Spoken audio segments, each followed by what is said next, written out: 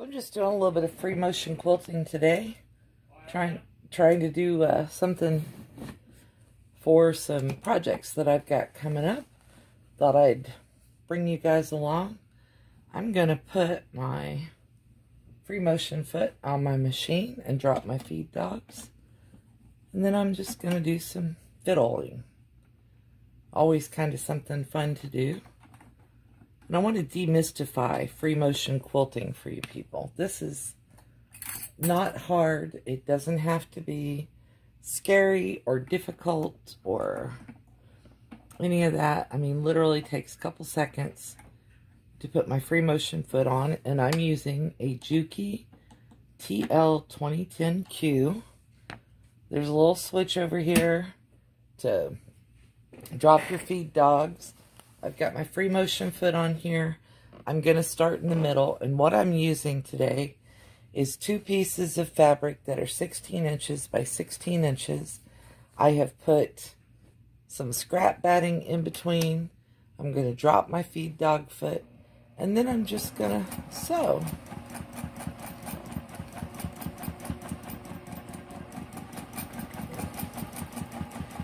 You don't have to be afraid of this. This is just do something. Doodle, just like you would on paper.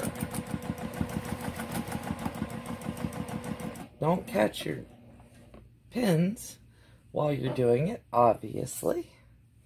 I want to move this one out of the way since it's going to get caught next.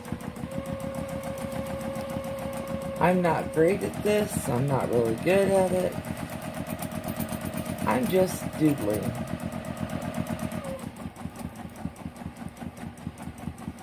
And there's some mystery about free motion quilting. People are like, oh, you're not supposed to cross thread, or you're not supposed to do this or that or the other.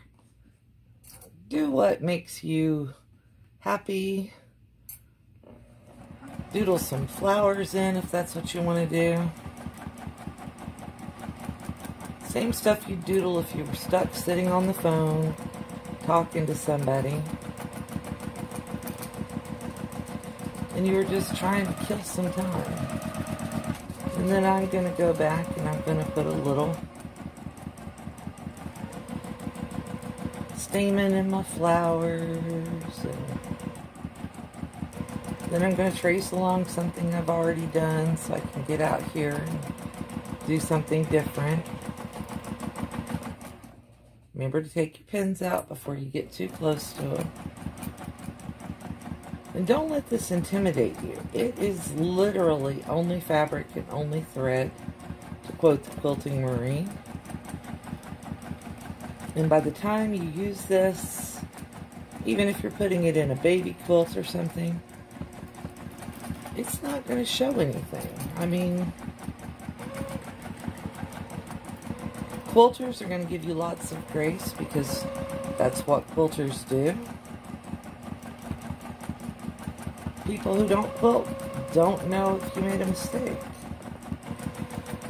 And the one thing you don't want to do is you don't want to get yourself stuck into a corner.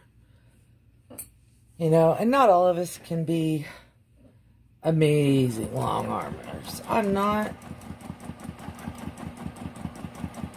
I'm not even an amazing free motion quilter. I just like to sew.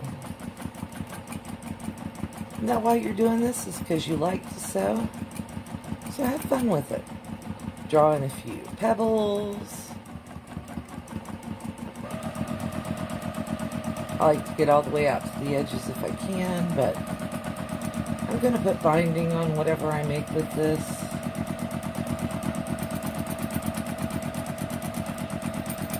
You know, and you can literally do something that just lets you get in there do some loopy-loops. Oops, don't do that. But I'll fix it. You don't like the way something looks? Stop and pick it out. Quilt over it. That's usually my choice is to quilt over it.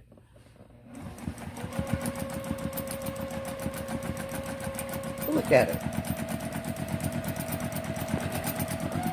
I've been quilting for what, two or three minutes?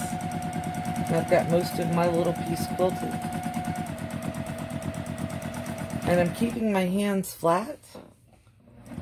Just running the quilting over things. Making sure my little piece of batting is as flat as I can get it to be while I'm quilting. Then I'm going to go over here. I want to get that little piece of, because I'm using scrap pieces of batting. Leftovers from making pot holders or making another quilt. There is no mystery about quilting. You know what quilting is? Quilting is practice. You've been writing all your life. Write your name in it. Write the word I love you in it.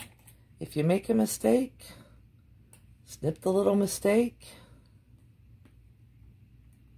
See what I just did? I caught a long stitch around my foot and I'm just going to work my way around it.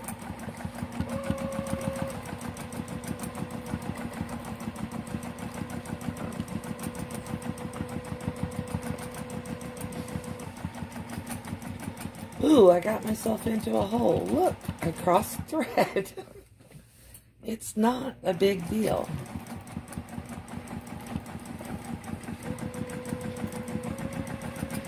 Unless you're entering jury quilt shows, trying to win a contest, something like that, it's just quilting. Just sew. After you've done it for a while, You'll figure out something that you like. You'll figure out something that works for you. Maybe you'll go watch Angela Walters or Tiffany or Tucker or anybody who quilts and sews. And you'll decide, okay, I want to try what they're doing. That's great. Do it.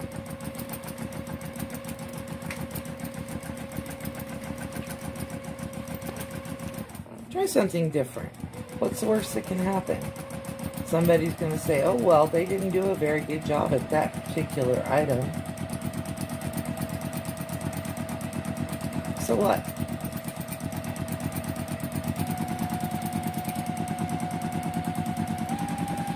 Do I care? I stink at feathers, so I try to throw one in everything.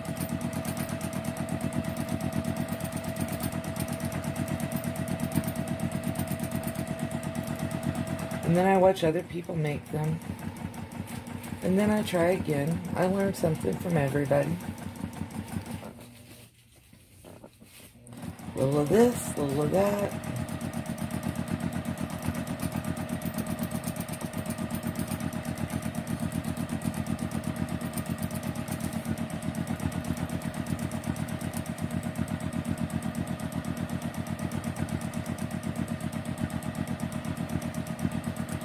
If I don't like the way it looks, I quilt over it and call it pebbles or something else.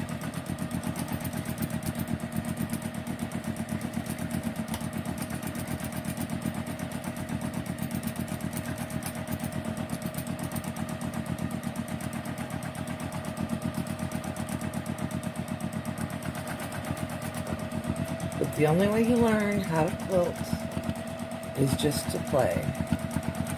And that's all I'm doing this morning is just playing.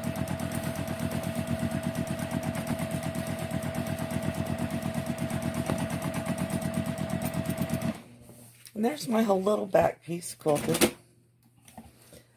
I'm going to probably throw that on the back of a project bag or something else. And I'm going to call it good. My tensions on the back are good we'll see how it how it turns out. You have a great day.